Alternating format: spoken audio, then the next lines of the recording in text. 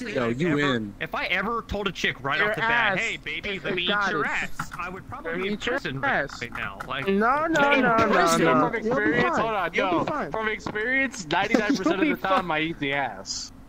Okay, Just so well, you listen, know. This is This Oh. isn't Jay and Silent Bob. A chick isn't gonna walk out of the gas station. You're gonna go, "Hey, baby, you ever had a fat guy that overcoat lick asshole?"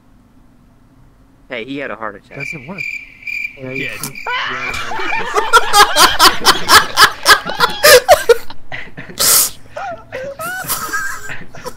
got a pineapple.